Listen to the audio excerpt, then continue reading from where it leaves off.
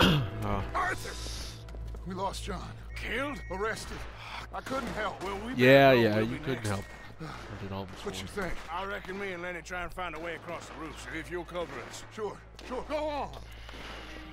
Oh, Lenny. Lenny, no. We can get across here! You got Lenny. Lenny, no! he's dead.